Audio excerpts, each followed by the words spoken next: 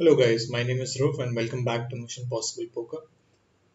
Uh, like uh, pretty much every other episode, I have a few hands uh, lined up in my Hold'em Manager, which I've selected to showcase uh, this this weekend.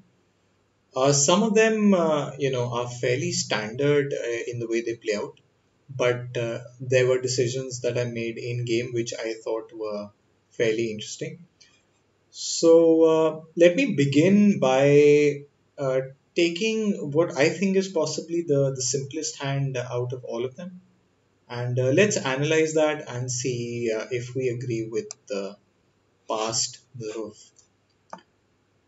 So let me wait for the stats to appear. I don't know why, but my Hold'em manager seems to be lagging a little. There they are.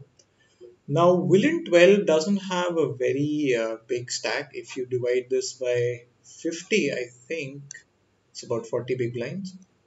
Let's just quickly convert these to blinds. Hmm, How does this work? Show chips and BB. Alright.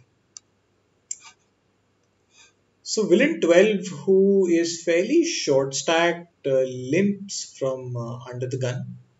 And if you look at his stats, you can see that he plays a lot of hands. And when he does open, he is uh, fairly tight. But uh, in, in cases where he cold calls or limps himself, he is fairly wide. So with a hand uh, as connected as uh, Ace, Queen, Jack 5 with the Ace High suit, I am totally comfortable squeezing this person's limp, which is what I do. Uh, Villain 8 uh, cold calls, which is not surprising because there's a lot of cold calling going on in these small to mid uh, stakes games on, on stars as well as other Indian websites. And we get to a flop where we flop the nut gutter and uh, the nut flush draw. Uh, villain 8 checks. Villain 12 decides to pot. And since we have the nut flush draw and we have uh, kind of the straight draws, it's kind of uh, unlikely for him to be potting uh, uh, some sort of flush draw. Uh, he could have, uh, you know, a hand like 10-8 uh, with a gutter to go with it. But I feel like a hand like 10-8 with a gutter is, is a hand like maybe 10-8 uh, Queen Jack, which is sort of the hand, you know, people like to open. Not really the kind of hand people limp from under the gun, especially if they have a suit. So I feel like uh, here doing anything else uh, besides uh, just calling is kind of a waste because we are drawing to the nuts, and uh, right now we just cannot win the hand if we don't uh, hit our flush draw or our uh, gutter. All these things considered, I do call, and villain 8 also calls, which is a fairly good thing because now I uh, he, I am led to believe that he also has a draw of some sort. I feel like if he had 8 10 uh, or uh, you know a, a 10 with a very good uh, redraw, I think uh, this is the kind of spot uh, people choose to uh, re- uh, re-raise. So I think with his call here, I think if we do hit a hand, we will be in a fairly good position to stack villain 8. Uh, now there's an absolute uh, blank on the turn, which is when villain 12 shoves after villain 8 checks. And again, I feel like the same concept applies. If I raise here, it's just doing me no favor at all. So instead of, of raising, which you know might be a standard for uh, some of the players out there, you know certainly if I were playing very very mindlessly, uh, if, if I were playing five tables, I could have raised the flop, which I think would have been a, a massive mistake. So taking uh, that concept and uh, applying it on the turn, I feel like uh, calling is the only way to go. Should villain uh, 8 reshove, uh, I think we would have to consider our options. But as of this moment, it seems kind of unlikely. So we are going to call and hope to hit uh, river. Uh, as uh, expected, villain 8 does call, and uh, we hit uh, pretty much uh, one of the best river cards. Now I feel like a flush might be better because in a combination draw, I certainly expect villain 8 to have some sort of a flush. But uh, you know we could still get paid off uh, on on this card, although it does seem uh, more unlikely than a flushing river.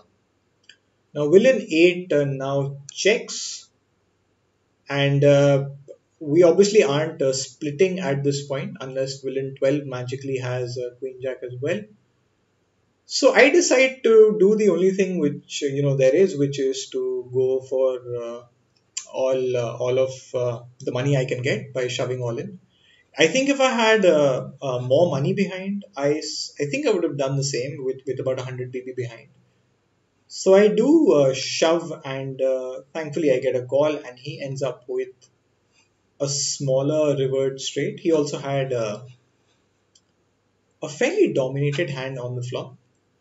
So before we move on, I think we just like to go back and check out uh, what the equities were on the flop. So if I turn on the hole cards, uh, so we had 32, which is obviously uh, I mean, it's not bad, but obviously with this sort of equity, without a quote unquote uh, made hand, I feel like shoving is kind of uh, pointless. If I had an even bigger draw, even a hand like uh, Queen Jack Nine uh, with uh, you know the Ace, I think I would have still preferred uh, calling. Because uh, draw no draw, we would want to make a hand because villain Twelve is going uh, in anyway.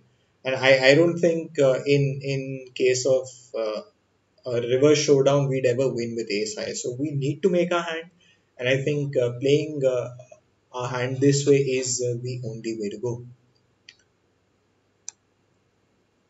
Uh, next up, I have something fairly uh, non-standard, and uh, and let's see why I made this uh, play. So I open Jack 10 10 9 triple, which I think is absolutely fine from MP. Uh, villain 17 calls, and villain 5, whose squeeze is 18%, uh, decides to do his thing and uh, re raise and squeeze. So I think calling here is okay. We're effectively about 100 BB deep with him. Our hand is extremely well connected, and we have an okay suit. So we call and uh, the short stack folds. So far so good, so far so standard. I had expected villain 5 to be shoving this board uh, extremely often. But uh, when he checks it over to me and uh, I see that despite his uh, high squeeze uh, percentage, he doesn't shove this flop, it kind of leads me to believe he doesn't really have a big piece. So maybe a big uh, rundown that missed. I feel like aces would be shoving this flop fairly often. So uh, I did think of uh, think of taking a stab with my gutter and backdoor flush draw, but I feel like getting shoved down is just absolutely disgusting, and uh, I'd rather see a, a turn. So he checks it over to me, and I check back. And on the turn, uh, we get a straight on the board, which is 4 5. Uh, neither of us, uh, us uh, should have 4 5, but uh, if, if anyone, I feel like I should have it more often. So when villain 5 does uh, decide to lead, and he does lead fairly big, I feel like calling here is is kind of uh, wanting to make a decision on the river and we really need to hit our hand. I mean, what if the river is a three and he shoves into me? Will I really be able to call? So instead, what I uh, decide to do is to in this spot because I feel like I have a lot of fold equity. I have discarded all uh, overpairs from his range. Uh, I have discarded most of the flush draws from his range. Uh, if he does have uh, diamonds, he is not really getting the odds to call. And I don't really want to just call and have an ace hit on the turn, or a king or a queen, and you know he he checks it over to me and i check back and i see that uh, the rivered uh, pair beats me. So all these things considered and the fact that i feel like his range is extremely weak i feel like there's a lot of money in the pot. So i think shoving here in in my opinion makes uh, the most sense. Uh, this is one of those uh, out of line uh, spots in PLO which the solver can't teach you, sort of comes by intuition. But uh, if you have some thoughts of your own on this matter, you feel like uh, maybe calling was a better play, or maybe stabbing the flop uh, was more positive EV, then uh, do let me know in the comment section because this is a hand where you know there's not really one clear answer. But uh, for all the reasons I had in my head at that time, I feel like this was the way to go. Calling, I think, is is not really playing this hand optimally. All right, that was hand number two. And uh, hand number three is where I think I made a fairly big mistake. Um, I limp uh, back, I mean, okay, queens with a bad suit, and I think that's okay uh, in a game which is fairly limp happy. I do want to overset someone, uh, I, I do want to smash a lower set. Uh, my hand is connected in an okay way. The flush draw isn't big. I don't want to squeeze here and play heads up with villain 14. but uh, I am uh, okay taking this uh, multi-way. And uh, it gets to the big blind who, who checks. And he min leads. And uh, I wasn't really sure of what to do in this spot. I mean, calling is totally fine. Uh, when we hit a five, he probably hits uh, some straights, which is really good. Uh, my kicker with the six isn't really all that great. So uh, I raised here, but I think, in my opinion, I mean, looking back at it now, I feel like this is not a raise. It, in fact, is simply a call. And uh, I mean, it gets uh, back over to this guy, and he he re-raises, but he doesn't really go for uh, full pot. And uh, this is where uh, you know, in in my opinion, situ- the situation gets really dicey. Uh, he could have pocket threes. He could have six three. This is a limped pot after all. He could have had ace six.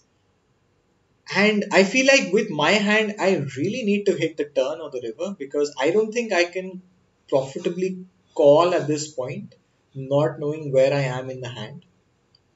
So with this uh, 50 BB stack, I feel like this probably is a get it in. But if he has a 100 bigs behind, I think, and, and this is going to sound really nitty and really tight, I think this as a fold is completely alright. Because uh, when the hand goes uh, goes like this, especially in the limped pot, they show up with the goods uh, pretty much uh, all the time. I mean, no one's going to be shoving here with a hand like six, uh, six, seven, eight, jack. And even that hand has a fair bit of equity against us because we have a pair and we have a five, and we're not going to boat up fairly often. So I think in a 100 BB situation, unfortunately, as weak as that sounds, uh, this is uh, a fold. In a 50 BB situation, I think it can go either way. But uh, you know, like always, if, if you guys uh, disagree or if you guys uh, have a better way to play this hand, uh, do let me know. I did check with the solver though, and like I suspected, I mean, this isn't the exact situation. Uh, let me just switch this to 50 BB. Uh, in a 100 BB uh, situation, Queen, Queen, 5 6 is actually just a call, it's not a raise. Uh, before we move on, we can check what happens with the other sixes. So let's say we have a hand like um, ace ace six deuce, a hand which we did not raise uh, pre-flop or three bet pre-flop. It's always a call.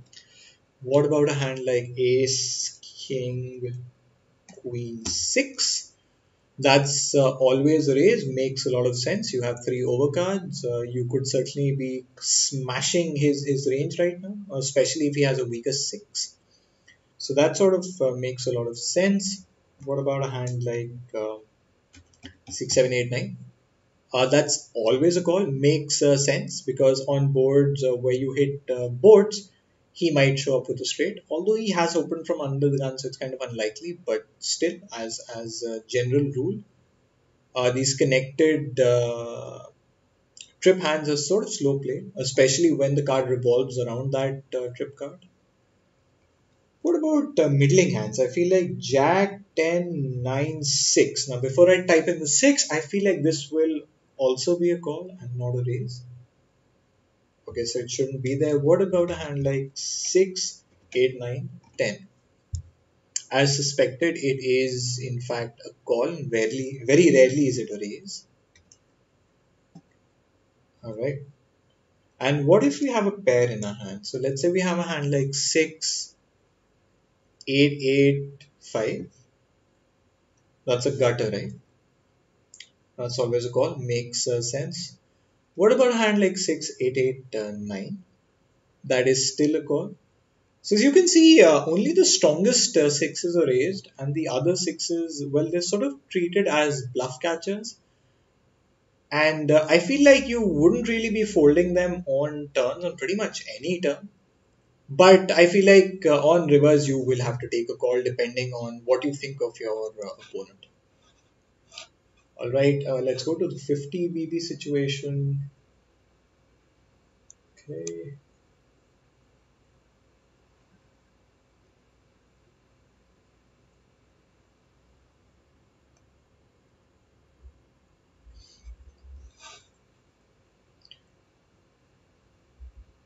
This should be more of a raise in a 50 BB situation than it will be in uh, a 100 uh, BB situation. However, as you can still see, those middling sixes are still calls.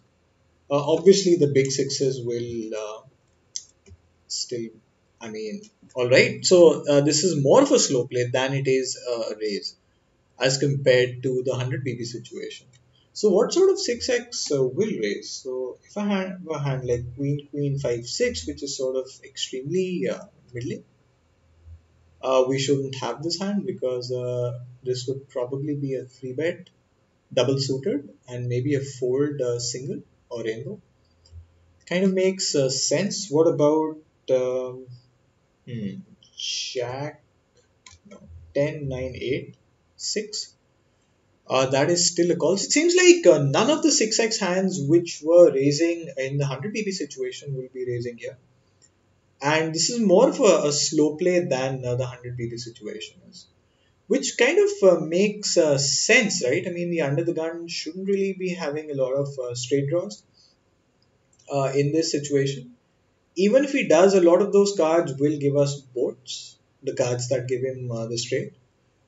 So i kind of agree with the 100 bb solution and i think i definitely agree with the 50 bb solution so what I did in game probably wasn't uh, the most uh, ideal. But uh, let me know, guys, if, if you would have played this uh, any differently and what you would have done in hand number three. Uh, we can now move on to hand number four, and this is where it gets very interesting. So again, a limped pot. I feel like limping is, is fine with this hand. Uh, villain 9 uh, doesn't squeeze, that's something to note, and he does pot lead on ace king 9.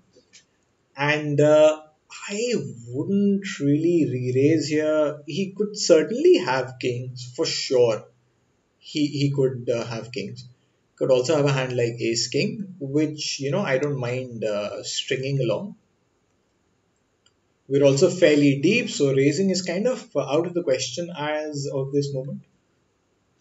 So my assumption is the weakest hand he shows up with is probably Ace King Queen Jack. Uh, uh, apologies, Ace uh, Queen Jack. But even that hand wouldn't pot. So I think uh, his his most likely holding is is Ace King, and he certainly could have aces or kings in this spot. Queen Jack 10 is also a likely holding, but then I blocked two tens, so there's that. So when he does uh, check the turn, I feel like uh, betting here and uh, considering uh, rivers would, would be fairly interesting. So I do uh, bet here uh, because I do want value. He certainly could have kings, but I feel like he could also have a lot of AK. So I bet the sizing so that I can get one more street from AK and uh, you know check back versus uh, Kings, which would probably get a street in anyway on the river, at least a blank river. He does end up calling, and the river is uh, the jack where uh, you know Ace 10, King 10, Queen 10, Jack 10, everything makes a, a straight, and this is where he he pots. And uh, again, while this might seem like a fairly standard call down uh, by most standards, I think it certainly was for me uh, six months ago, five months ago. But if you think about the kind of hands he was representing on the floor, all of them got there. So a hand like uh, Ace King will not bluff this river. A hand like King King, bare King King will not bluff this river if he did have uh, Queen Jack 10, he certainly uh, is is beating me. And it is very likely for him to have a hand like Ace King 10. So I feel like this, while it does seem like a fairly standard uh, call uh, by most uh, standards, oh, that did not come out right. While this uh, does seem like a fairly standard call, I feel like calling here ultimately is losing money because his quote unquote uh, made hands, which I believe is what uh, he held uh, majorly in his spotting range from, from out of position into four other players, have gotten here. And it's certainly very easy for him to have a straight at this point.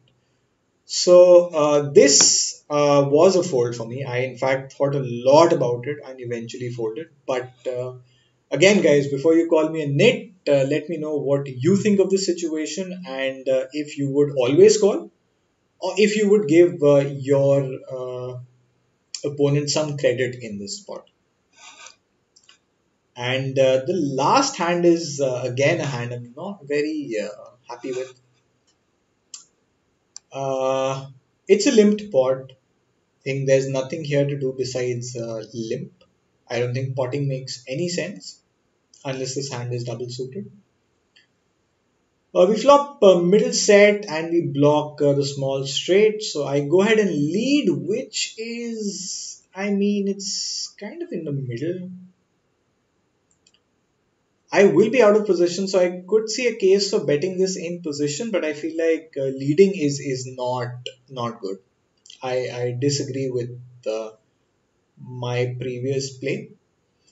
Uh, I get raised uh, again by a guy who I feel like plays fairly, fairly straightforward. So I do a call, which I think is completely fine.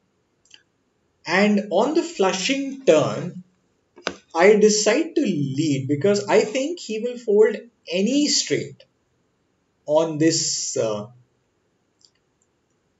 King of Hearts river, especially since I've led uh, pre-flop. So any bare straight, in in my opinion, should be uh, in in uh, the muck when when I bet. However, he, he decides to jam, and uh, you know I, I don't think I'm getting the right price as of this point. So I uh, I sort of lost some money to fancy play syndrome, but I feel like this works fairly often because uh, you know when he raised the flop, a straight is what he was repping. Maybe he had a hand like uh, you know ace ace 10 8 with hearts, which is certainly possible. Maybe a hand like ace 10 8 deuce with with hearts certainly will uh, check back from the big blind, will not squeeze. So I think uh, I I could have uh, checked uh, in in this spot on the turn uh, maybe called a smaller bet because with the nut flush he would have certainly bet uh, smaller. Called uh, a bet and you know tried to make a boat on the river. But uh, I, I did decide to go for the fancy play and I think it makes uh, sense. It, it did not work out this time. but uh, you know I am quite okay with with my play. So that's it, guys. That's it for this week. I hope you you enjoyed the episode, and uh, you know I th- I think these hands are getting fairly interesting now. So I certainly would love your input, and obviously when you when you comment, when you let me know your thoughts, you certainly are contributing to this discussion, and that way uh, both of us, like uh, on on this side of the screen and and yours, both of us can really really get uh, something out of these uh, videos. So until uh, next time, guys, this is Dhruv, and uh, I'll see you next week, maybe.